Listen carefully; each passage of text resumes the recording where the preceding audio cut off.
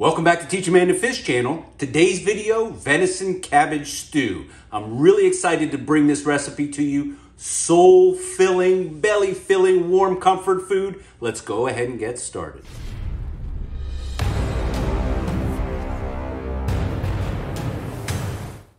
If you've got the venison meat, the first thing you've got to do is clean it up. When you clean up the meat, just take anything out that does not seem appetizing to you. You can see that we dry aged some of this. This was a young doe. It's going to be as tender and tasty as can be. It's pretty obvious you can do this with venison or hamburger. Either way you're making the stew, let's suppose your freezer isn't full and you're looking at your canning options. Just go out and get some hamburger and you can make this exact same meal.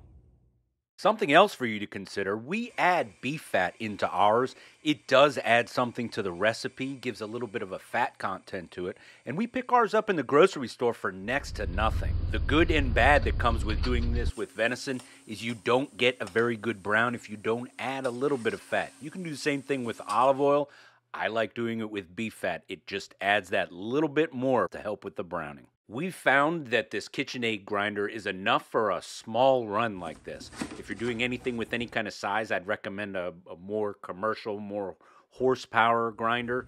But with this, it's so easy to clean. It's so quick. Grab it, put it together, clean it up. It's not the same as the heavy duty ones. Ingredients list will be down below, so we're not going to focus too much on that.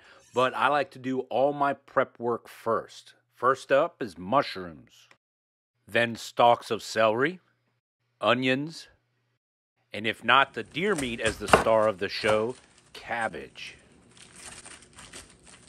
Since cabbage is the leading role or one of the main actors in this show, think about how you want that to be prepared. Whether or not you want a hearty, we like about one inch squares, shredded, or even into a smaller piece, say half inch or quarter inch diced.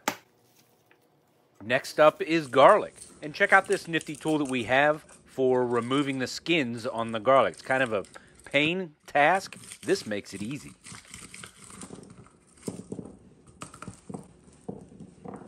We also have an easy way of dicing the garlic. There's an added benefit to using this kitchen tool. The nickel in the stainless steel, when you wash it off, it removes any of the garlic or onion odor that may be stuck to your fingers. It's like magic. There's a great deal of health benefits in this stew. Not only is it easy to preserve, but you're also low carb, cutting the carbohydrates. I'm always keeping one eye towards the carbohydrate side of things, and this doesn't them.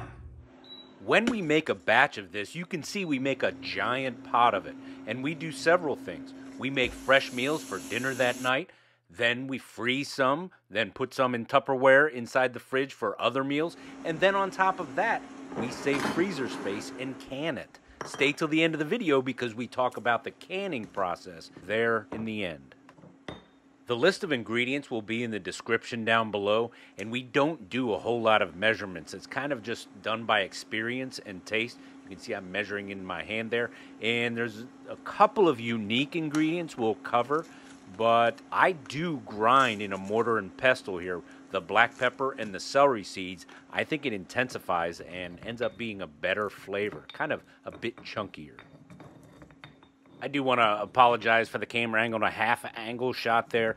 I didn't quite get it lined up the way I wanted to. Dried from our summer garden, we do put a little bit of habanero into ours. We like a little bit of that kick that comes along with it. So what you see there is the basil leaf and all of the dry ingredients ready to go in. So here's the great debate is this a stew or a soup? If you start with meat, it's supposed to be a stew, and if you start with a liquid, it's supposed to be a soup. But we end up making this clear with no tomato paste in it, and it's a very light feeling soup, so I kind of lean towards calling this the soup. We'll be making this in two stages on the stove, and at that point, it is ready to eat. And then we'll be transitioning over into canning this, and we're making a huge batch in order to save room in our freezer. We got five deer this year, and our freezer is jam packed. That's hundreds of pounds of meat. So we'll process this through, can it, and free up some freezer space.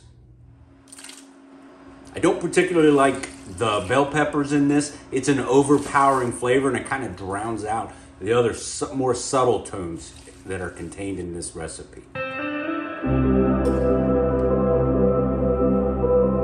Did want to give a shout out to Corner Homestead with Teresa. She does a great venison hamburger stew and canning video. You want to check that out too. She goes a little bit more detail about the canning process than I do. Another great channel to check out. Again, you're limited by your imagination when putting this together. We had some very late kale that we got in. It didn't quite explode, but we're going to call this baby kale. We're going to incorporate that into this too. I did want to talk about the science or the chemistry of one cooking concept in this video, and that's called umami.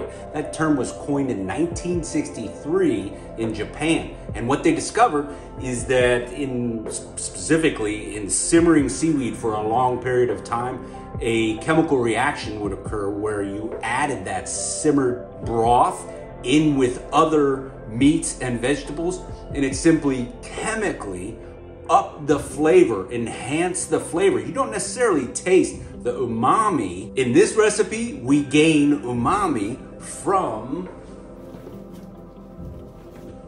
Marmite. That's a yeast extract. It's a boiled down yeast extract. Sometimes it's called Vegemite.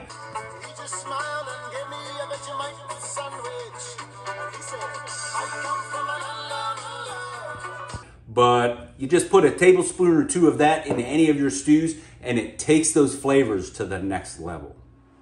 It may not look too appetizing, but it's a game changer and it adds some carbs, but not many, and it's worth it. Sometimes it can be difficult to find unique ingredients such as Marmite. That's more of a British thing than here in the United States. We'll put links down below where you can get access through Amazon to all of the tools, equipment, and ingredients that we use in this video. I've got another ingredient here I'd like to zero you in on, and that's better than bouillon beef bouillon. I don't get compensated by them, but Better than bouillon, beef bouillon is better than just your beef cubes. That's the stuff. Link down below. While that soup is finishing up, we're going to go ahead and get set up to do canning. That's another skill that is compounded. And if you think of all the skills that are contained in this video, you've got butchering, you've got canning, you've got knife sharpening, you've got hunting, uh, skills that add up one on top of the other in order to ensure that all of this comes together. All of that is embodied in the spirit of this channel, gaining the knowledge and skills and putting them into effect in order to engage in life. Not just that, but are you passing it on? Learning those new skills. There's a little bit of investment in the equipment and tools that you need, but most of what you're gaining access to is the knowledge, skills, and practice to implement it.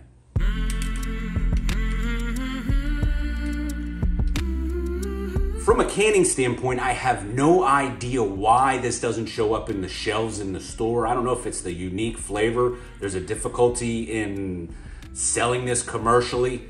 It's it's amazing stew, but you can't find it in any cans or in the store. Most of the time what I've experienced, when you do it yourself, it's better than store bought anyhow.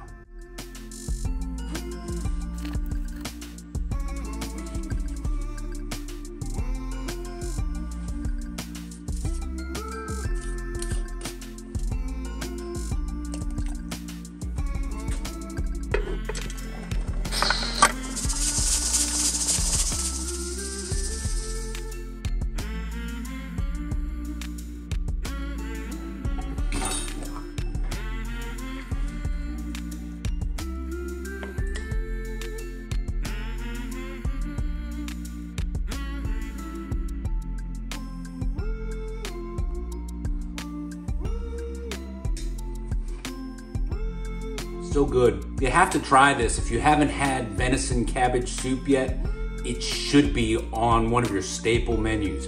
Get busy making this.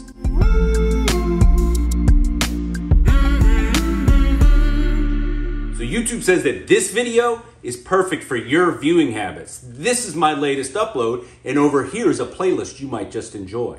I hope you liked it. If you did, please click like, subscribe, share, and come on back for more.